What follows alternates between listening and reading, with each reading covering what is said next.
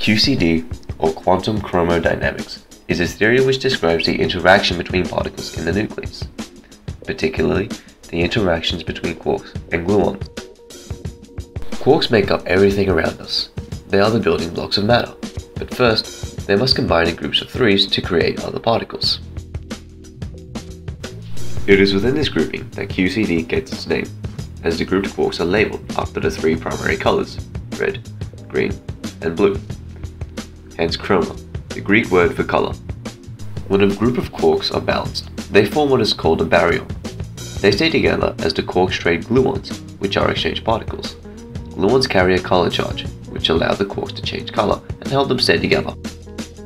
Through continuous exchange, quarks are able to stay stable. This is the very basis of QCD, and there is much more to discover within the Journal of Science.